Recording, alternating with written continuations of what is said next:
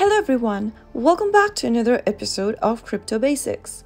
In today's video, I'm going to be showing you how you can send Bitcoin on Edge application. So let's dive in into the video since the process is quite easy. Start off by launching open your Edge application from your app drawer. Also make sure that you're logged into your account. Once you're inside the main wallet page, from the dashboard, tap on BTC. Now, tap on the send button appearing on the next page. Agree to the terms and conditions of Edge by tapping on the circle and tap on confirm and finish. Now you will be able to see these two options. If you don't have any funds on your wallet, you'll need to first buy some cryptocurrencies. Go ahead and tap on buy BTC and select your region from the options. Choose one of the payment method and select the asset you'd like to purchase. To select Bitcoin, tap on BTC. Enter the amount you'd like to buy and it'll calculate you the amount of Bitcoin you'll receive.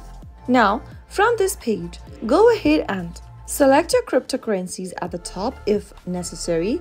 And right after you select your wallet, go ahead and select either enter option or the scan option. If you tap on scan, you will need to scan the QR code of your friend you are trying to send Bitcoin to. If you choose the enter option, you will need to enter the Bitcoin wallet address of the recipient. Simply go ahead and paste in or enter the wallet address and tap on submit in order to send Bitcoin to anyone on Edge. Before you send any Bitcoin, make sure that the wallet address is correct. You can send Bitcoin to any Bitcoin address regardless of whether the address is on Edge network or not. So that is how you'll be able to send Bitcoin on Edge.